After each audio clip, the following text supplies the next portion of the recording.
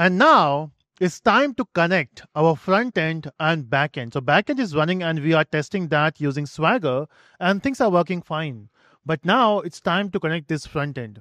Now the front end is running here. So if I even if I refresh, uh, it has some issues. But what I will do is because we have we have we ran the front end way back in the first video uh, or second video. What I will do is I will just rerun the front end to show you the steps again. Let's do step by step, right? That will that should make much more sense. Okay, the first thing you have to do is open a new terminal here. You can just click here and open the new terminal. Uh, maybe I will do that again. So I will just click here. It is opening a new terminal, and the only thing it is doing it is going into environment. I will. I don't want to get into the environment. I will say deactivate.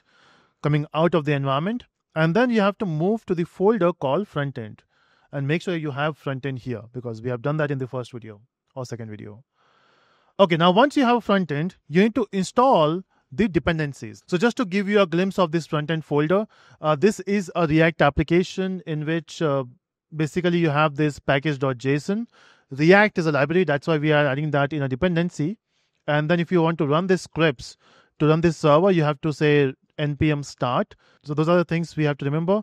And we have also done the proxy for localhost colon 8000 because when you send the request here, behind the scene, this will work with this particular URL. So we have those things there. Next, you have to make sure that whatever dependencies you have mentioned here are the part of node modules. If you are doing this for the first time, you will not be having node modules. So I will just say npm install. It will download the dependencies and keep it in the node modules. Now, once you have done that, you can simply say npm start. This will start your front end. And as you can see, it started the front end. This is your front end. Now, there are certain issues. The backend is still running. There's nothing wrong with the backend. But the front end is not working. If you can see, it says fail to fetch the products and you don't have any products. Let's see what is going wrong there. So I will right click here and click on inspect. Let's go to console. And if I zoom the console a bit, it says there is a problem with uh, the CORS. Okay, that's one problem. There are more problems which we are going to talk about now. And to understand those problems, let's go back to the project. Now, in the React project, if you go to SRC, now this app.js, this is where you're doing all the routings, okay? Request sending, response, I mean, accepting the response. So it is sending a request to this particular base URL, okay? And that's what we have for the backend. So if you look at the backend, that's your URL. Apart from it, the each request URL changes, right? So when you send a request for fetching all the products, let's say fetch products, you got this URL called slash products. And if you try to match that with the main, let's try to match it now one by one. So get all products, the same URL, so no problem. Now, when you try to go for the next one, which is this, creating or updating a project, in this case, you are sending a request for the products. Okay, so are we using products for update? No, we are using products. So make sure everywhere you say products. Just for the simplicity, I've, I went for product before, but let's make it products everywhere. Even in put, we have products just to show you. If you, in fact, yeah, put will be using the same thing. But what about delete? So if you scroll down for delete, down, down, yeah, even delete is using products. So I will say products. So everywhere you have to make sure that you have products. Okay, that's one of the problem. The second problem we have is, which we saw in the console, is this CORS error.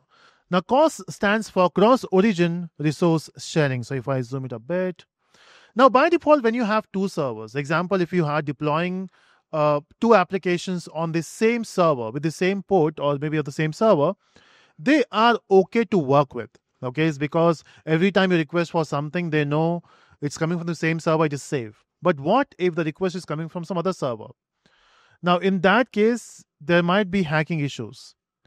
Now, how do you solve it? And that's where you have to give the permission. So by default, CORS will always be blocked and you have to give the permission. So how will you give the permission? So you have to go to the main file again. And this is where for the fast API, this app, you have to give the permission to accept from particular client. So by default, it will accept from the same file or same port number because if you remember, the Swagger was running on the same port number. So there was no issue but your front end is running on port number 3000. That's where the issue is. So how will you give the permission? So you have to say app dot add middleware. in which you have to pass certain parameters and multiple parameters. So I will just say enter. So first thing you have to mention which middleware you're working with. So I'm working with CORS middleware and I think we have to import that. So CORS middleware will be coming from fast. So from fast API dot middleware dot CORS. From this we have to import CORS middleware. Now once you got CORS middleware, what are the extra parameter you have to add? The next thing you have to add is the allow origin. So from where you want to allow it. And you can pass the list of values, not just one. And I just want to specify one value at this point. So it's HTTP colon slash slash localhost colon 3000 this is this is from this is where you have to allow it. Do we have to mention more properties? Let's try. Let's try with this and let's see if something goes wrong. Uh, the server got reloaded. No problem with that. Front end we don't have to change anything. Let's try with this. And if this works then we don't have to worry refresh. Yeah it worked. So we don't have to worry about the other parameters. And voila you can see we got products here. Okay so this is working. Let me just try to add a new product and let's see if that works. Uh, let's say not minus one two. Name i will add laptop. Description best gaming laptop. Price is 1599 and quantities let's say we got only five quantity Okay, let's see if this works. Add operation failed. Let's see what happened. It says bad request for the products. So we have changed it to products. Let's see. Let's go back to the inspect console. Okay, so for the home page, there is no issue. I think it's issue with the methods. So let's add a few more parameters. I'm just guessing that's the issue. So we'll say allow methods because we are changing something. So I will just add all the methods here. So star means all the all the methods. And now let's try. Click on add. Okay. So basically what we have done is when you say allow origin, the homepage was working because you are reading things. When you say submit, you are changing something to the server. And by default, even submit that does not work.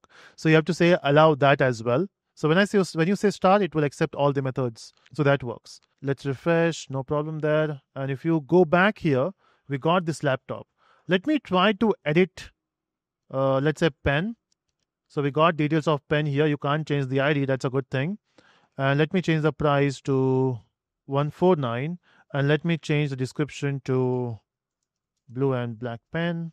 You know, sometimes you have this combination of pens where you have single pen where you can change the buttons. Uh, I used to love those pens in my childhood. So submit and it says method not allowed. Okay, something went wrong there. Let me check the console. Okay, so 405 methods not allowed. Which method is executing? Let me check for update. We do have, okay, now here. It is products. Let me check here. What is the issue? Put, that's correct. We got products here. Got products, edit ID. Is this the variable which is creating the issue? Uh, edit id from where it is getting the edit id so when you send this request this is working. Uh, blue pen. Okay i think we have made one mistake here. When i was changing products i have also removed this part. My bad. Remember the dynamic data because the id is getting from here right? I don't know how i messed that part. Let's go back here click on submit again and it worked. So it says product updated successfully but uh, how do I verify? So yeah, so it's blue and black pen. Perfect. So edit done. And let me try it one more time. Let's edit this smartphone. A slim smartphone price, let's say just 699 and let's say 51. Update, product updated successfully. Okay, it works. It works. Perfect. Now we can also try deleting. So we can delete this part, the pen and pen gone. Okay, and all the searching part just from the UI side. Cool. So that's how you basically connect your front end and back end. Things are working out. Yes, there are there were some issues, but my mistake. Okay. So when I was, I don't know why, how I deleted this part while I typing the S there. Happens, happens. So that's about this particular project which we have built, not the front end, just the back end, and we are able to connect the front end. Uh, that's a success, I think. So that's it. Thank you so much for watching.